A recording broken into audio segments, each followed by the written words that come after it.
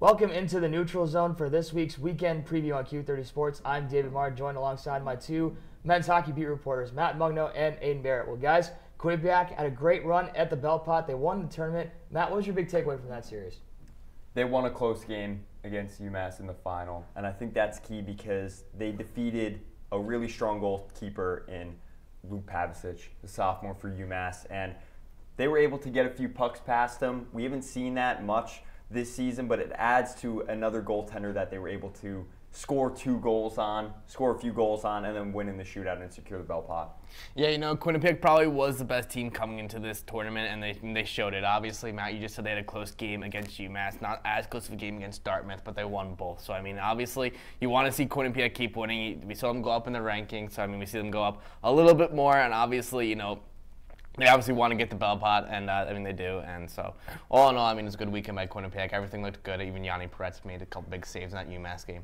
Let's turn our attention to this weekend. This Friday will feature a playoff rematch when the St. Lawrence Saints come marching into M&T Bank Arena. Aiden, what can the Bobcats do to slow down the revenge-driven Saints on Friday?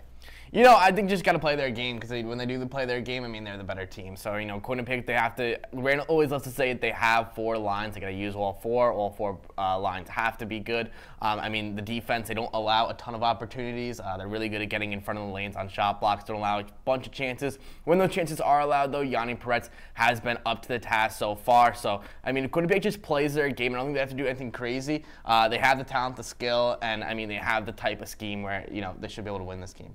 Yeah, and keep your eye, like you said, blocking those passing lanes. Don't let a player like Luke Salem get the puck in 12 games. He's got four goals. He's a shot blocker with 13 block shots, and he has a shorthanded goal to his name. Quinnipiac in their last 10, 8 and 2 against St. Lawrence, against the Saints, but St. Lawrence, we know, ECAC quarterfinal in Hamden. Bobcats win in double overtime. They had to tie the game and fight back in order to win. So St. Lawrence is going to come in with some fire and that motivation from the locker room. So maybe this season they're not performing as well as the Bobcats, the number two team in the nation, but they're going to come in with a fire lit under them for this game. After the Saints come to the M&T Bank Arena on Friday, it will be the Clarkson Golden Knights on Saturday, bringing in Nashville Predators draft pick Ethan Haider in goal. Now, Matt, what is the biggest challenge for the Bobcats going up against this Predators draft pick? I think it's, again, finding that offense, you know, capitalizing on their power play opportunities. Aiden talked about the defensive game, but we saw with the Cornell game, we talked about this right before we started recording.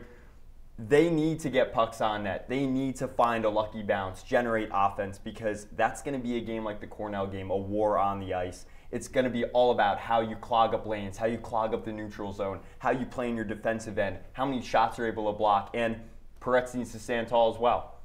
Yeah, no, I agree with you, Matt. But I think that, you know, I don't think you need to change your game too much. I mean, we see them play NHL goalies. NHL type of talent players, and I don't think their game really changes too much. I mean, they're shooting to score either way. So, I mean, I mean that's what it is at the end of the day. You're shooting to score. Um, I don't think the game really needs to change too much between uh, Quinnipiac style. I mean, obviously, you know, they are the number two team in the nation for a reason. They already have that talent and skill as well. I think they just need to play their game. If they play their game, I mean, they're still going to find their chances. Uh, just hope for the puck gets in the net.